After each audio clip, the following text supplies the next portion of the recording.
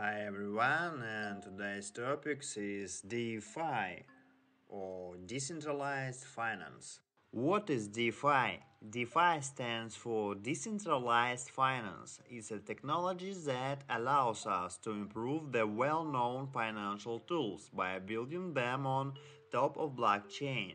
DeFi will turn the traditional financial products into trustless and transparent pieces of software that remove intermediaries and centralized entities such as banks.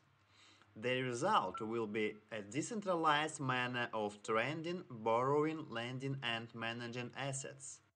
DeFi is a whole new movement with the main goal to revolutionize the traditional financial system. DeFi aggregates a vast and open community that accuses the bank of being a corrupt and useless middleman. What these people want is the establishment of a new open and transparent financial system. DeFi aims to rewrite the rules of finance, but this time with code and secure software. Let's see what are the advantages of a DeFi application. You don't need to trust a bank or a government or any country to take care of your assets or to control the value of currency.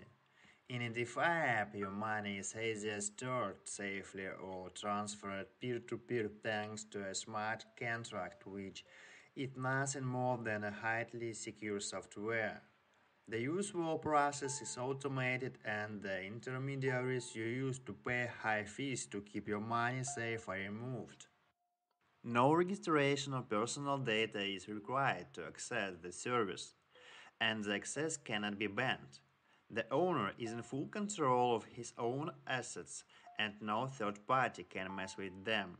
He's in charge of his own money and can do with them whatever he wants at any time. Due to the nature of the blockchain, all of the asset movements, transactions and data are recorded on the chain, allowing anyone to view and trace them. Moreover, DeFi projects are open source, which means that you can check the code of the application by yourself to be sure that the application is secure and fully functioning. A DeFi app will keep your privacy and your identity will stay unrevealed. Also since the service is absolutely decentralized, there is no single point of failure and no central entity to be hacked. Your money cannot be stolen. This promising technology is already flourishing.